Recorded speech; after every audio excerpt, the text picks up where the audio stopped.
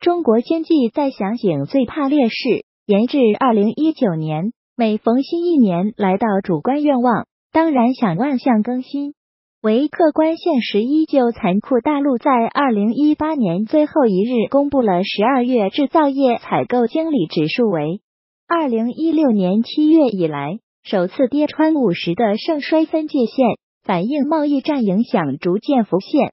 经济前景确实转差，亦意味着二零一八年第四季经济难有惊喜。恶劣情况是延续至二零一九年。上述指数主要是衡量每个月的工业产出、新订单、新出口订单、存货、供应商发货、就业及制造成本投入的价格，为整体经济的前瞻指标。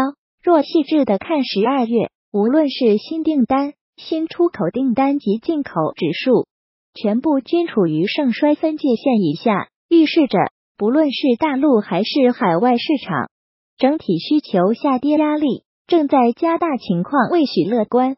赞助商链接赞助商链接对上一次该指数处于收缩期是二零一五年八月至二零一六年二月，当时大陆实施了一系列措施，稳住了经济。美国联储局。亦因担心中国因素而暂停加息。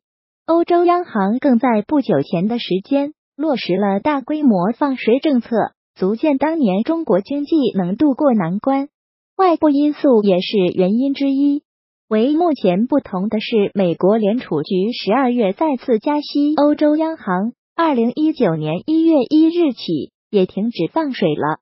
大陆则因债台高筑，即要捍卫人民币汇价。很难显著的放水，就是事实上，大陆近期公布的数据已反映受到贸易战拖累。举例来说，二零一八年十一月工业企业利润出现二零一五年十二月以来首次收缩，十一月整体国企盈利倒退，十一月出口增幅由之前的高双位数大跌至仅百分之五点四。难怪美国总统特朗普近期风骚的吹嘘说。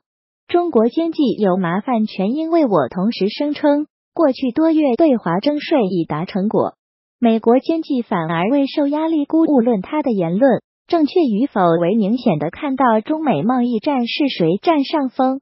赞助商链接，赞助商链接是到如今，虽然中美双方同声透露贸易谈判有积极进展，唯就算最终能握手言好。已被破坏的经济及互信关系真的能复原吗？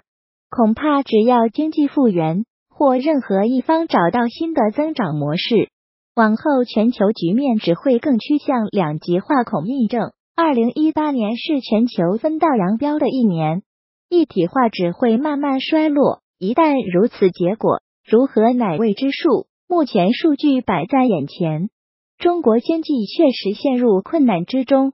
当下首要稳住的固然是近十四亿人的吃饭问题。二零一九年来临，中央将落实一系列减税措施，无论是个人或企业，均会受惠。再加上中美贸易战有望缓和，在内外皆有利好消息下，寄望新年新气象能如愿以偿。